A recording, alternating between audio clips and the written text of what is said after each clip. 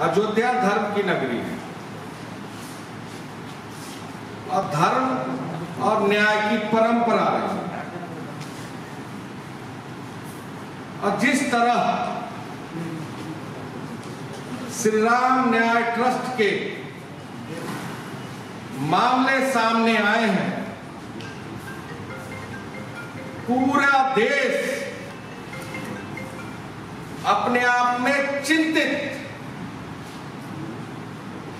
और उस ट्रस्ट के कारगुजारी पर एक बड़ा सवाल या निशान उठा। पिछले दिनों जो तथ्य और मामले सामने आए, सरकारी अभिलेख सामने आई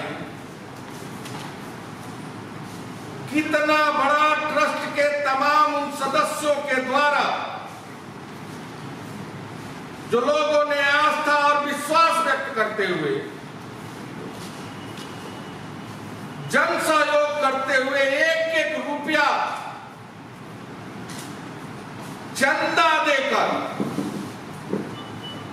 श्री राम मंदिर के निर्माण में हम भूमिका निभाई।